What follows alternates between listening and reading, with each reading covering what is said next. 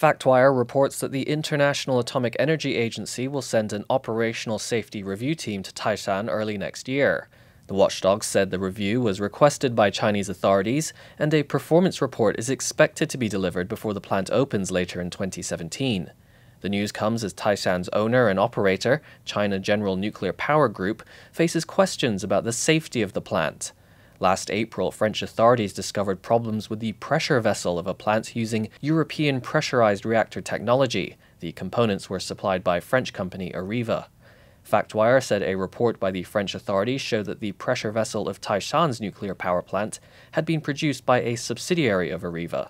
But Areva's public contractual information revealed that one pressure vessel was produced by Mitsubishi Heavy Industries in Japan, while the other pressure vessel was manufactured in China. CGN has not yet responded to FactWire's request for comment.